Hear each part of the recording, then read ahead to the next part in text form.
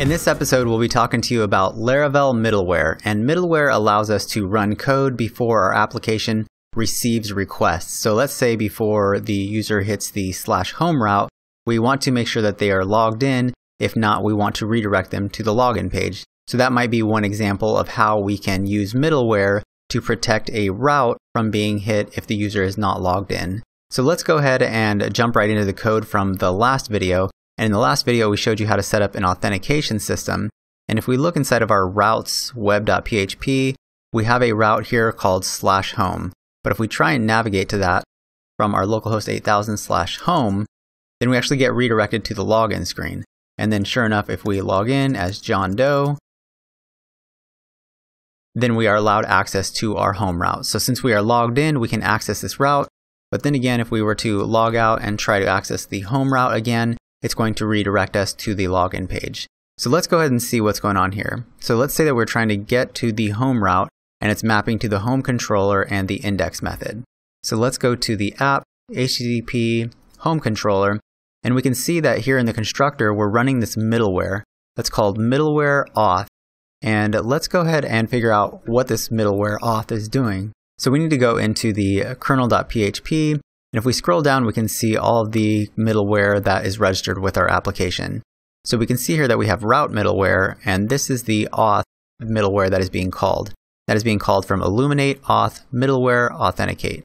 So let's go ahead and just dive into the code real quick. So we say we want to go to vendor Laravel framework source, and we know that it's in the illuminate auth middleware authenticate namespace. So we look inside the illuminate auth and we have middleware here and then authenticate. And as you can see here, we're running this code that is going to check to see if the user is currently logged in. And if they are not logged in, then it is going to redirect them to a certain path. So this is just a built-in middleware that is provided by Laravel, but let's go ahead and show you how you might create your own. So let's go ahead and open up our project and let's just go ahead and use the artisan command. And I'm going to say artisan make middleware and I'm just going to call this middleware admin middleware. And let's go ahead and start up the server again. And now if I go into my app HTTP middleware folder, I will see a new file called admin middleware. And you can see that we also have a couple other middlewares inside of this folder. And one is redirect if authenticated, and that will just redirect us to the home route if we've already been logged in. And I'm going to go ahead and just copy and paste this code into the admin middleware because we're going to use some of the same classes. So I'll need to change this name to admin middleware. And then let's go ahead and create a new route. So let's say that we want to create this route that's only accessible to admins. So we'll say route admin function, and then I'm just going to print out a simple message that just says you have access. So if I save this and I go back to the application and I type in localhost 8000 slash admin, then sure enough, we have access to it. And if I try to log in, we'll have access to this route as well. And I go back to slash admin.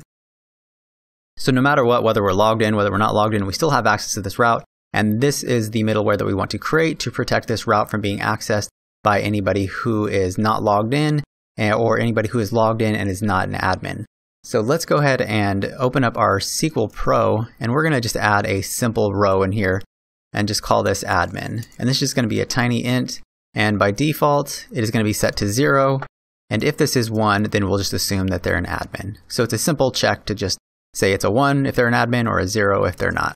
So then let's go ahead and go back to our code. And what we need to do is inside of our admin middleware, we need to say if the user is logged in and the user admin equals one then we want to allow them access to that route. So we want to return the next request. And we'll say otherwise, we want to just return a redirect to the home route. So let's go ahead and save that. And then we need to go ahead and register our middleware inside of our kernel. So we need to say inside of our route middleware, let's just go ahead and call this admin. And this is going to map to, if we look inside the namespace, we have app HTTP middleware. So we will use that namespace and it'll be slash admin middleware. So let's go ahead and add that to the kernel. We'll say slash admin middleware class. So let's go ahead and save that. And now we have this admin middleware shorthand that we can use inside of our route file. So let's say that we want this to have a middleware of admin. So let's save that and let's go ahead and try and access this route right now. So as you can see, it says class app HTTP middleware admin middleware does not exist. And if I go back into here, looks like I may need to do a forward slash. So let's save that, let's reload. And sure enough, you can see then we're redirected back to the home page. So if we go to our login, you can see that we're currently logged in, but we still cannot access this route.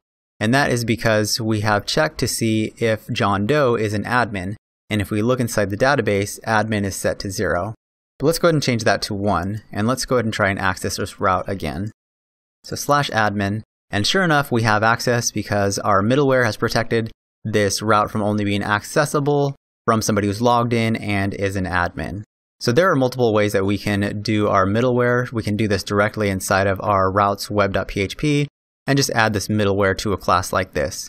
We could also do a group. So we could say route group, and then you may want to group a set of middleware. We'll say middleware, and the middleware is going to be admin. And then we can wrap all the routes that we want to be protected by this admin middleware inside of this group. So if I go ahead and save this and we reload the page, then we still have access to this route because we are an admin. But then if we go back here and change admin back to zero, and we try and access the route, it's going to redirect us back to the home page. So we can do middleware inside of our routes. We can wrap them in a group or we could also add them to the constructor of a controller. So any methods that are called inside of that controller will be protected by that middleware. So this was just a quick example about how to use middleware, kind of what middleware is, and how it might be helpful in building out your Laravel app. Hey guys, thanks for checking out this Laravel Basics video. Uh, Laravel is a really cool framework that allows us to build these really cool applications. And one of those applications that I have built is the Dev Dojo. So if you check out devdojo.com, it's a learning resource for all things web development, including Laravel. I've just added a new section which includes ebooks that you can download, and uh, it's just a whole bunch of resources for you to get better at web development. So thanks again for checking out this video, and I hope you go over to the devdojo.com and check it out.